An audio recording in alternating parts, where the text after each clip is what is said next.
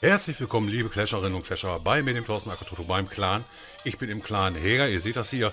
Und ich bin auf dem Account von Loot. Es ist der 30. hier im Clankrieg gewesen und der Krampf oder Kampf der NGs. Eigentlich wollte ich das Thema nicht nochmal aufreiten, aber so ein bisschen ging mir das hier gegen den Strich, muss ich sagen. Und äh, hier nahm das mal so richtig überhand. Also ich musste, ich habe das Ganze echt belächelt und habe gedacht, Alter, hier kämpfen nur NGs gegeneinander. Also nicht nur NGs, aber ihr seht das hier, das ist ein Engineered Account oder ein sogenannter Kriegs-Account, wie man auch immer nennen will. Und äh, ja, so eine wirklich gute Truppe hat er hier auch nicht. Also ich möchte hier jetzt auch nicht auf den Leuten rumreiten. Aber ihr wisst, ich bin eigentlich gegen dieses Engineerte und es das gibt's äh, tatsächlich immer noch. Also das ist natürlich kein Engineer hier, das ist ein ganz normaler Rathaus äh, 7 Account, aber hier ne, haben wir, man meint ja eigentlich, da müsste auch mal ein Achter kommen. Nein, es kommt wieder ein Elfer und auch nur mit 220 Truppen. Also ach, ich weiß nicht, was das soll. Muss ich, muss ich mal ganz, ganz ehrlich so sagen. Und ihr seht das schon, so ein bisschen ist das natürlich an den Comic ähm, Helga angelehnt. Also hier seine Frau die Helga, na, der Account ist schon so ein ganz kleines bisschen besser, aber auch erst 225 Truppen. Und sind wir ehrlich, mit so einer, ja, ich meine, mit, mit so einer Armee, was machst du da? Mit, mit was wird er angreifen? Der kann nur Luft. Ja, mit 6er Drachen oder halt äh, 2er Hunden und 7er Loons. Der geht hier nicht auf so einem Account. Alles andere ist, äh, ist mal dahingestellt und ähm, ich will nicht sagen, dass es noch schlimmer wird, aber ich gehe ich geh jetzt einfach mal so ein bisschen, bisschen durch. Oh, hier haben wir mal einen Achter. Ich würde sogar fast sagen, er ist maxed. Und ähm, aber ihr seht das hier und der Gegner sah nicht anders aus. Ja, also kann ich euch sagen, der Gegner sah nicht großartig anders aus. Und ja, wie willst, wie willst du dem eigentlich einen Riegel verschieben? Keine Ahnung. Ähm, richtig ähm, krass wird es dann nochmal im oberen Bereich, denn äh, da sehen wir so ein bisschen, dass das auch mal so ein ganz kleines bisschen nach hinten losgehen kann. Und ähm, dementsprechend, ja, hier sind wir im relativ normalen Bereich, wo ich mich ja auch so ein bisschen befinde. Also, das ist auch ein NG, keine Infernos. Und äh, deswegen tue ich mich im Moment in diesen Clankriegen hier auch sehr schwer, wenn ich mit dabei bin. Ich kann nämlich hier nicht mehr wirklich was reißen. Ich kriege immer höllisch schwere Gegner. Und ähm, die NGs machen natürlich solche Sachen hier oder halt sie machen so, so eine Base. Ihr seht das, das ist jetzt mal eine Base, die hat hier immerhin schon mal ein paar Infernos. Aber ähm, wenn wir noch ein ganz kleines Stück weiter nach oben gehen, hier auf den Sven Glückspilz, da wird das mal so richtig krass. Ich meine, das ist ein Rathaus 12 und ähm, er ist ja an siebter Stelle gelistet. Wir gucken uns die Base einmal an. Und ja, es ist ein Rathaus 12er ohne Infernos, aber mit einem Adler. Also irgendwie hat er den Adler hier reingekriegt. Keine Ahnung, wie er das gemacht hat und wie er das speichern konnte. Aber er hat wahrscheinlich erst den Adler gebaut, hat ihn dann hier reingesetzt, hat gespeichert und hatte aber die Infernos noch nicht rausgebracht. Irgendwie so muss es ja gelaufen sein. Ähm, denn in seiner normalen Base, also in seiner Farmbase, hat er die Infernos drin. Nur hier hat er nie gesagt, jetzt bearbeite ich diese Base mal. Sollte er vielleicht machen, denn ich meine, als Siebter kassierst du hier natürlich immer drei Sterne. Wir gucken uns mal sein Gegenüber an. So ein bisschen guckt man ja immer äh, nach, nach dem Gegenüber oder orientiert sich so ein bisschen an sein Gegenüber. Und ähm, wir sehen, dass der Gegenüber hier schon etwas besserer Rathaus 12 ist. Also auch nicht so wirklich gut. Wir gucken einfach mal rein, wie der Uli die Basic gemacht hat. Dann haben wir auch ein bisschen Clash of Clans und nicht nur wildes Rumgeschimpfe vom Toto auf die Engineered Accounts. Ja, wie, wie kommt man denen bei? Keine Ahnung. Vielleicht äh, kommt Supercell ja doch mal auf den Trichter, so nach dem Motto, ähm, du darfst erst in den Clankrieg, wenn du alles gebaut hast. Punkt. Erst dann äh, bist du wieder für den Clankrieg zugelassen und dann verschwinden die ganzen Accounts hier natürlich, weil sie A nicht mehr mitspielen dürfen und B, wenn sie denn mitspielen wollen, dann müssen sie auch etwas tun, nämlich ihre Basis ausbauen beziehungsweise die gesamten Gebäude bauen und auch hinstellen. Ähm, nur so, glaube ich, kommt man denen irgendwo bei. Ich habe die Tage auch mit dem, mit dem Olli darüber diskutiert, was kann man eigentlich machen oder wie kann es eigentlich weitergehen. So einen kleinen Riegel haben sie ja nun schon davor geschoben, ähm, denn das ihr, wer jetzt sein Rathaus auf einen Engineered-Account hat und möchte jetzt seine Rathausstufe anheben und hat noch nicht alles gebaut, der muss jetzt alles bauen. Natürlich noch nicht in der Kriegsbase. Die Kriegsbase kann leider so bleiben. Ja, das betrifft ja nur die Farmbase. Solange du deine Kriegsbase nicht anpackst, und die Kriegsbase äh, veränderst, beziehungsweise versuchst zu verändern, bleibt die erstmal auf dem alten Stand und darf im Clankrieg teilnehmen. Das ist leider so. Und deswegen gibt es natürlich immer noch die Kriegsbases hier, die also keine Infernos haben, ähm, keinen Adler haben und auch tatsächlich Rathaus 12 sein können. Gar keine Frage. Die Farmbase sieht dann ganz anders aus. Da ist dann, da muss dann Adler drin sein, wer Rathaus 12 ist. Da muss ein Inferno drin sein, wer Rathaus 12 ist. Und ähm, also wenn man von 11 auf 12 gegangen ist. Nur ähm, hier in der Kriegsbasis muss das nicht sein. Da kann es, da kannst du nach wie vor relativ weit unten gelistet sein. Bringt aber hier in dem Fall jetzt 7-7, äh, den Vergleich, den wir gerade hatten, äh, bringt das nicht so wirklich was. Hat aber, glaube ich, ganz schön gemacht, der Uli hier. Äh, Nummer 9 auf Nummer 7 auf den Neo.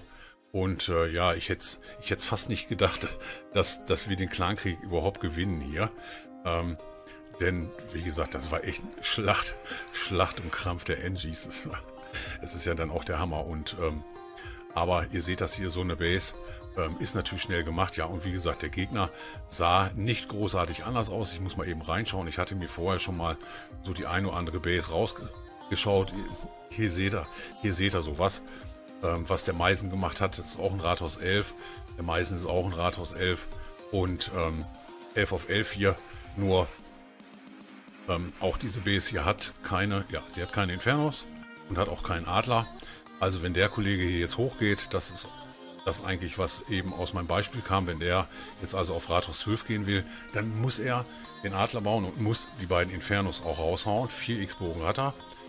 Ähm, das äh, passt also und meine, der Kollege, diese ganzen Bases haben dann natürlich in der Regel immer Max äh, baut ähm, Teslas und ähm, naja, sei mal dahingestellt, aber wie gesagt, er muss das dann nicht in seiner Kriegsbase bauen, weil die Base beim Rathaus 12 das wisst ihr, die wird nicht größer. Das heißt also, die Mauernanzahl ist die gleiche. Die äh, Verteidigungsgebäude sind natürlich nicht die gleichen. Es kommt ja ein Tesla kommt dazu und ein paar kleinere Pfeilen. Allerdings, ich fast gesagt, auch wenn das hier ein 12er ist, kann man darauf verzichten. Ich meine, wenn der es gut macht, dieser 12er hier, dann äh, baut er seine Armeelager auf 280 Truppen aus und ist dann wahrscheinlich immer noch relativ tief ähm, gelistet mit den Zwölfer hier. Vermutlich sogar vor Rathaus Elvern. Allerdings habe ich das noch nicht gesehen, dass Elver jetzt vor Zwölfern sind. Ähm, vielleicht könnt ihr mir das in die Kommentare schreiben, dass ob es sowas überhaupt ähm, dann an der Stelle gibt oder ob das neue Rathaus schon so eine starke Gewichtung hat, dass es in der Regel vor Elvern und vor Zehnern ist. Das weiß ich tatsächlich jetzt auch nicht. Ich habe mich in verschiedenen Clans umgeschaut und äh, konnte da ähm, als so eine Konstellation gar nicht entdecken. Oh ja, hat er nochmal schön den King durchgeheilt, gar nicht mal schlecht. Hat er gut gemacht hier an der Stelle. Und ihr seht das hier, 44er Queen, 13er King. Ja, also auch der Meisen hier ähm, weiß genau, welche Truppe er äh, levelt. Ich meine, 13er King, das ist Rathaus Start 9 Niveau. Hm. Nicht wirklich gut. Oh, da habe ich mich vertan. Entschuldigt bitte. Oh, oh, da habe ich mich gerade vertan. Äh, das tut mir gerade leid. Ich sehe es gerade. Es war der gegnerische King. Sorry, Leute. Bin etwas verpeilt in der Hitze. Ähm, aber halt, hat er, glaube ich, auch ganz gut gemacht auf die Engineered Base. Im oberen Bereich wird es ein bisschen anders. Da haben wir und natürlich auch der Gegner normale ähm, oder, na, ich will mal sagen, halbwegs normale Bases gehabt. Ich muss mal hier immer kurz mal reinschauen, äh, was es hier für Bases sind. Ja, da hier sind wir schon im recht normalen Bereich und mit Adler, mit netten Infernos, die noch hier im Ausbau sind, aber die Base hier ist auch ist auch schön groß, also ist keine 10er Base, ist schon eine 11er Base von den Mauern her. Ich zähle mal eben durch. 1, 300, jawohl. Und dann geht das hier auch mit dieser Truppe. Ich glaube, jetzt haben, jetzt haben wir schon viele Truppen gesehen, aber dieses hier ist mal Bowler Only, also ähm, ganz der Verzicht auf Hexen. Würde ich auch machen, denn ähm, die beiden Inferno-Türme stehen auf ähm, Multi und äh, Multis und Hexen vertragen sich nicht. Kann man sicherlich machen, aber mit den Bowlern ist das, glaube ich, immer eine, eine, etwas bessere Wahl dann. Oder man nutzt halt eine, eine, völlig andere Truppe, Lufttruppen oder so. Da geht das eigentlich auch. Da sind dann eher Single Infernos äh, noch anfälliger als die, als die Multis. Und ähm, auch wenn die jetzt ein Feld weiterreichen, hat es, also zehn Felder reichen, hat es für diesen Gegner hier äh, nicht gereicht, sich zu verteidigen an der Stelle. Sprung, mal gucken, wie gut oder schlecht er noch gesetzt ist. Ja, ist gut gesetzt. Ich meine, die Truppen werden jetzt auch ein bisschen außen rumrennen können, aber man vertut sich ja. Das habt ihr jetzt bei mir in den Folgen in den letzten auch öfter mal gesehen, dass äh, man vertut sich, wie, wie weit kommt äh, meine Karre und äh, brauche ich einen Sprung, brauche ich zwei Sprung, brauche ich vielleicht gar keinen Sprung, keine Ahnung. Ja, wenn ich nur in die Base rein will, äh, als Beispiel mit Hockridern, dann lasse ich die Karre einfach fahren und tanken und ähm, erledige das, was ich zu erledigen habe, nämlich Queen und vielleicht noch ein paar Verteidigungsgebäude, die ich rausnehmen kann. Und dann erledigen den Rest die Hawks. Das heißt also, ich habe fünf Heilzauber dabei, ähm, beziehungsweise als Rathaus 12 ja sogar sechs hätte ich dann dabei und äh, hätte dann auch so den Erfolg. Aber ich glaube, hat er ganz gut gemacht hier der Speedy auf die Nummer 9, auf den Greed. Ihr habt es auch im Thumbnail gesehen, ich hatte dort ähm, eine Brücke abgebildet. Ja, alles das, was ihr jetzt ähm, in der ersten Augustwoche äh, von mir ähm, seht, ist so ein bisschen vorgedreht, denn ähm, ich bin zu dem Zeitpunkt dann vermutlich schon weg oder beziehungsweise ich habe Urlaub und es geht dann auch weg und deswegen habe ich so ein bisschen, ich habe so ein bisschen vorgedreht. Oder haben wir den Uli nochmal? Ah, da hier, der Sven. Hier sehen wir mal, was man mit so einer Truppe denn auch machen kann. 50er Queen, 70er Worden. Ähm, ja, wie gesagt, ich bin dann, ähm, ich habe zurzeit Urlaub und bin auch irgendwann mal weg und ihr habt das vielleicht im Thumbnail erkannt, ähm, auf welcher Insel ich mich denn rumtummel. Also wer, wer die, die Brücke kennt, kennt auch die Insel. Also ähm, ich weiß ja nach wie vor nicht, wie oft ich schon da war, aber es hat uns mal wieder so ein bisschen dahin gezogen. Äh, wir sagen zwar seit Jahren, wir, wir fahren nicht weg, aber das kriegen wir nicht hin. Wir fahren immer weg.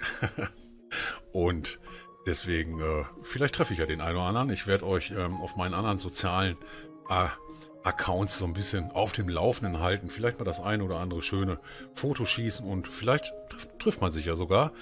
Ähm, vor, beziehungsweise im letzten Jahr habe ich dort zwei Clasher getroffen. Und ähm, Ganz, ganz witzig. Allerdings waren das ganz harte Nachtdorfspieler. Also die waren tatsächlich in einem Clan, die ganz, ganz stark das Nachtdorf bespielen. Und ähm, mit dem habe ich so ein bisschen auf der Bank gesessen, ein bisschen diskutiert, ein bisschen geclasht. Hat sich so ein bisschen ausgetauscht, war ganz nett. Also das war nicht geplant, sondern das war dann eher zufällig, weil ich gesehen hatte, dass die am Clashen waren, während wir so ein bisschen auf der Bank uns ausgeruht haben. Und äh, ja, vielleicht trifft man, trifft man sich ja, keine Ahnung. Ähm, die Welt ist äh, nicht groß und man sieht sich immer ein, zweimal, keine Ahnung.